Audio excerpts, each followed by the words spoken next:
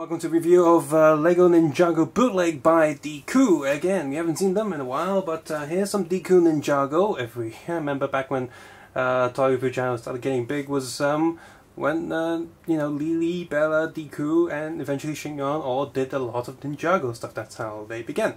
And this is set number 10053.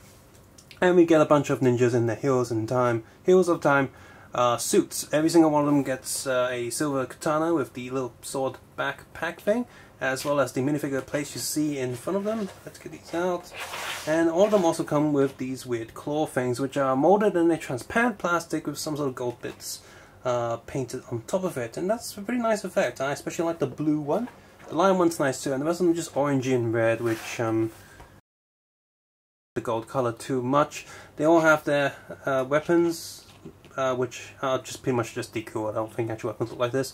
Uh, I've got a red spear that you build here. All these are built, by the way, so you've got these lightsaber hilts in the middle and all of them, so if you want lightsaber hilts, that's great.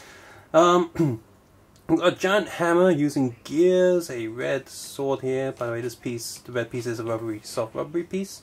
A sai with a tooth on the other end uh, a blue and red so ice and fire thing going on, chainsaw thing with a teeth on the end, and another one of these uh, red sword things with a tooth on the end.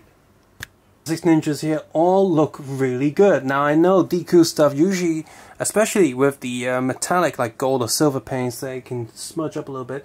But the ones standing in front of me are all perfectly printed. I can't see any flaws with the print that's pretty amazing. Uh, you know, Decool tends to have some issues, but hey.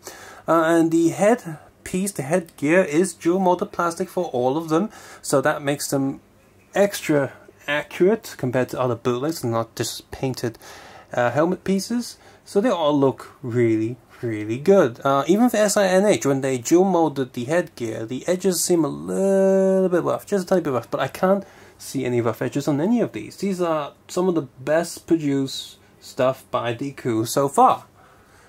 The insides are also very nicely done here on the faces. Uh, the red face might be a little bit small, but that could just be me finding something to nitpick. They all look really good. And just flip it around, and they do have the back prints all done very nicely as well. Kudos here. Um, I'm not sure if these two are supposed to have secondary face, but they don't here. But uh, yeah, the back prints and the back face prints are all done really, really well. You who don't know, uh, Decool still uses legs that look like this underneath, which is not the same as uh, official Lego. And while the prints on all of these are really, really nice, uh, a few of them have loose legs, especially him. Look how loose that leg is. If I just uh, tap it, it's gonna, whoa, it falls all the way down. Let's do that again, whoa. See that? It's kind of shaking. It's It's not to stand the figure up for the most part.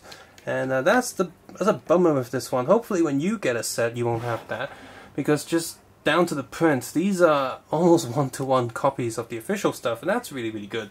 And uh, as for this set perfectly complements Pogo set, uh, PG 1009 to 1016, since that set only contains uh, the Vermilion and Ash and Shade characters. So um, they're no crossover characters, and they're both equal of. This one's better quality, but that one's also very good quality. So you put them two together, you have a really good mixture of figures from one of the latest seasons. So definitely consider picking that set up and pick this one up as well and put them two together. There are no uh, pointless pieces like the Shinyon one or DLP ones. They're just good quality figures except for that one weak leg one so hopefully you don't have any issues when you get your box. And put that with the pogo one and you have you can do a nice little battle of good guys versus bad guys just with those two sets. Excellent. Subscribe suggest and comment below and of course take care and have a nice day. I'll see you guys soon. Bye bye now